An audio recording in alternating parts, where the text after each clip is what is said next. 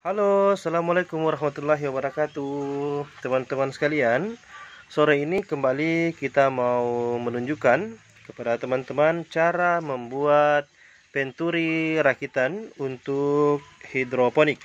Nah, teman-teman sekalian Kita namakan penturi rakitan untuk hidroponik Karena ini kita akan gunakan di tandon nutrisi hidroponik teman-teman sekalian namun jika ini mau digunakan di ikan atau di mana saja itu sebenarnya bisa saja karena pada intinya ini akan sama fungsinya dengan aerator.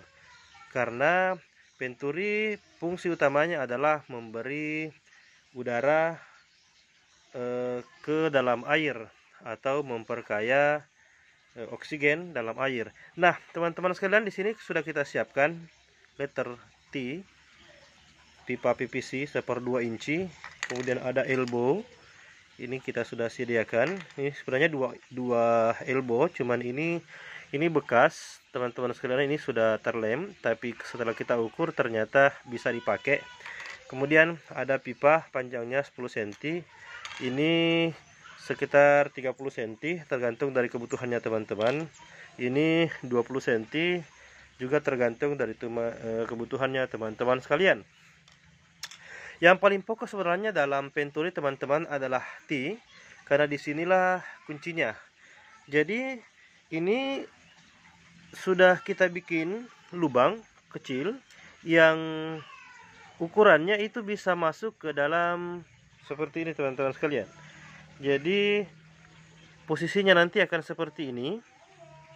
Setelah masuk seperti ini, maka kita masukkan lagi e, pipa yang seperdua dan ditekan agar rapat supaya benar-benar rapat dengan tadi penghalang atau pelubang lubang-lubang yang telah kita buat. Setelah itu kita e, masukkan ini saringan udara. Jadi yang harus teman-teman perhatikan adalah posisinya tadi penghalang atau yang lubang ada di sini makanya nanti udaranya di sini. Jangan sampai terbalik. Kalau terbalik pasti gagal teman-teman sekalian. Harus yang di dilubangi atau diberi penghalang tadi dengan lubang kecil harus posisinya di atas. Dia harus posisinya di atas seperti ini sehingga e, nanti udara bisa masuk dari sini. Nah makanya ini ini fungsinya nanti adalah ventilasi udara. Jadi udara akan masuk di sini ini sekedar kita sambung ke atas teman-teman sekalian seperti ini supaya muat nanti udaranya bisa berada di atas permukaan air atau level air. Kemudian ini kita sambung seperti ini. Ini nanti adalah aliran air yang akan turun ke bawah dan di sinilah akan muncul gelembung-gelembung gelembung air nantinya. Dan elbow yang satu ini ini nanti yang akan tersambung ke pembuangan pompa celup yang ada di dalam tandon. Dan bagaimana cara merakitnya teman-teman sekalian? Mari kita ke instalasi atau ke tandon nutrisi kita. Jadi kita akan tunjukkan ke teman-teman bagaimana cara memasangnya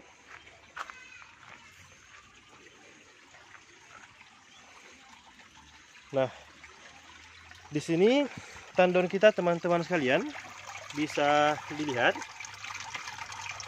Ini ada stop kerang yang sebenarnya berfungsi untuk mengatur debit air yang masuk ke instalasi.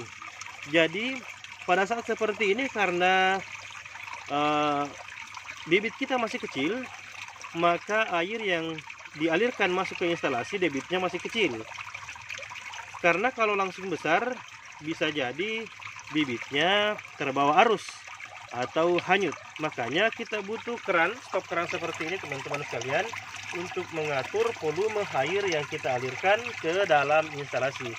Makanya pembuangan itu yang kita mau manfaatkan untuk dibuat penturi jadi nanti akan kita pasang di ujung sini di ujung pembuangan ini teman-teman sekalian.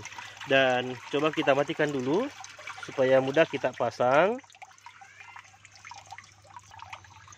Dan ini sudah kita pasang teman-teman sekalian. Jadi penturnya sudah terpasang. Tinggal kita buka stop kerangnya. Nah setelah kita buka stop kerangnya suaranya sudah ada. Dan gelembung-gelembung udaranya juga sudah ada jadi ini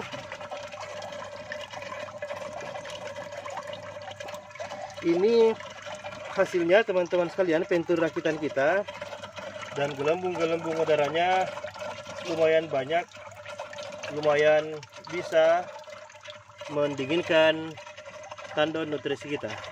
Demikian teman-teman sekalian terima kasih. Semoga bermanfaat. Assalamualaikum warahmatullahi wabarakatuh